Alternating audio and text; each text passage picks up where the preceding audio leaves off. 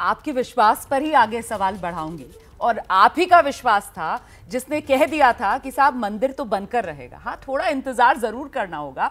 तो ये दिव्य ज्ञान किस रूप में प्राप्त हुआ था? और खासतौर से वो अयोध्या में। वो देवकाली मंदिर और उसका जीर्णोद्धार ज़रूरी है तभी दिव्य भव्य राम मंदिर बन सकेगा। जरा इसके बारे में भी दर्शकों को बताइए। हाँ आ, ये मैं इस राम मंदिर के उसमें तब पड़ा जब आ, पूर्व प्रधानमंत्री अटल बिहारी वाजपेयी जी ने हमको बुलाए थे 2001 में, फिर दो में कि बोले, आप इसमें कुछ बातचीत चलाइए। उस वक्त तो सब में ये था कि इसमें कुछ करना चाहिए। तो तब हमने जो 2003 में आपने देखा होगा, जो प्रपोज़ल हमने दिया था हमने बताया, पाँच एकड़ मस्जिद के लिए तो अलग जगह हो जाए और यह स्थान को पूरी तरह से अपना राम मंदिर के लिए दे दिया जाए। अब हुआ वही। वही हुआ। ये 2003 तो में आपने बता दिया था। मांगा नहीं हाँ मांगा तो नहीं उन्होंने पाँच एकड़। फिर अपना प्रपोज किया था कि ताकि दोनों समुदाय में एक सौहार्दता बना रहे इस कारण से। तो वो बात संपन्न हुआ अच्छे से हुआ।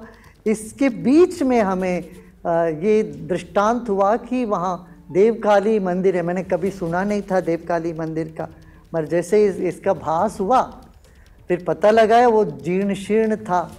कि वहाँ इतनी सारी हिंसाएँ हिंसात्मक घटनाएँ हुई है। लोग भयभीत रहे तनाव बड़ा बढ़ता रहा। तो फिर वो देवकाली मंदिर का पुनरुज्जीवन किया था। उस वक्त अशोक सिंगल जी भी आए थे।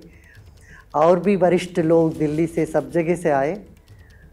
उस वक्त भी लगा कि उसके बाद चौदह साल लगेगा इसका कोई निदान उठने में ऐसा ही हुआ। जी और आपने जो अभी बात जो बाहर जो देखते हैं जो स्थूल जगत है ये सूक्ष्म जगत से चला चलायमान होता है। सूक्ष्म जगत की जो चीज़ें हैं वही ये आराधना है पूजा है। तो वो सूक्ष्म से वो भगवान श्री कृष्ण ने भी कहा दैवाधीनम जगत सर्वम सारा जगत देवताओं के अधीन है। मंत्राधीनम तो दैवतम। मंत्र के अधीन है सारे देवता। तो इस तरह से एक सूक्ष्म जगत की जो पौष्टिकरण होने पर स्थूल जगत का काम सराग हो जाता है, अनुकूल हो जाता है। क्या बात है गुरु जी बहुत सुंदर।